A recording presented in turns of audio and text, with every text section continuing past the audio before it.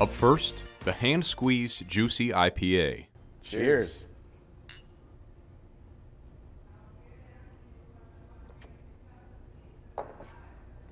So the hand squeezed. Yeah, that's our uh, hand squeezed juicy IPA. We knew we were going to have to come out of the gate with uh, a juicy or a New England style IPA. And in small batch systems, we took a lot of time in figuring out all of the Michigan proprietary hops and what their different flavor profiles were. Because we had a, a pretty big commitment to using and sourcing local as much as we could, when we could, and when it made possible. So this is a blend of four of our favorite uh, Michigan proprietary hops. Mackinac, Hydra, Bergamot, and Paradigm. And as much as we get, we try to get from Pure Mitten Hops, which is about four miles away from us right here in Coopersville.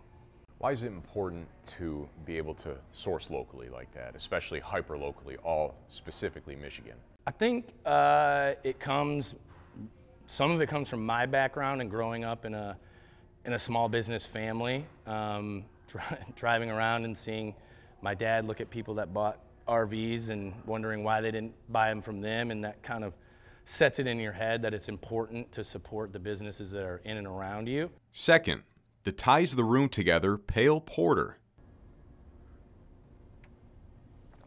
So this one, the pale porter, mm-hmm. it was kind of when I first saw that, I was like, it's kind of an oxymoron almost. Yeah. Like, w- explain that to me.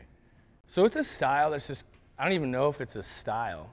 Um, I don't know if it's been officially put into the, the book as a style, but this popular idea of, you know, uh, New Holland has, a, uh, has their white stout, um, Perrin has Perrin Blonde, and you kind of see that where these beers that are light in color, light in body, but, you know, the trick of the eye, if you close your eyes, it'd almost be like you're drinking a dark beer. The name comes from the wainscoting that you see around uh, the outside. This is one of the last beers that we developed in small batch and our kegerator was out here in the tap room um, while we were gluing all of the wainscoting to the wall. And my GM's a big fan of the Big Lebowski, and we just kept talking about how the wainscoting was tying the room together, and we just couldn't get a name for this beer, and then it just like made a ton of sense one day. So that's kind of where all that comes from.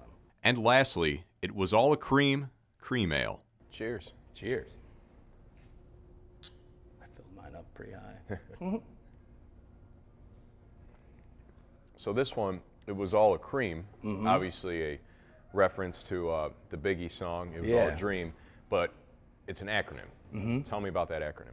Yeah, so that an acronym. Um, also in the 90s in hip hop, Wu Tang had one of their biggest hits, which was an acronym called CREAM, and it stood for Cash Rules Everything Around Me. So we kind of took those two hip hop songs, but we always wanted a beer that we were going to utilize to give back to the community in some form or fashion. The CRM for us stands for Coopersville Recreation, Education, Arts, and Music. So every quarter we take um, a look at the sales on that beer and find something in the community, kind of in either one of those or any one of those veins that we want to get ourselves involved in and try to give back. Um, And what was it that time around? yeah, so we've only been open uh, since the end of April on 420 this year, so we've only had the one quarter, and now we've got the second quarter just recently under our belt. But the first quarter, um, there was a local family who um, unfortunately lost their, their father and husband and their six kids, and um, it, was, it was pretty tragic. So we took the first quarter sales from that and added on to it on a, on a fundraiser we did that we eventually ended up raising over $14,000 for the family. For more episodes of Hops with Hey Luke, head over to the Watch tab on woodtv.com.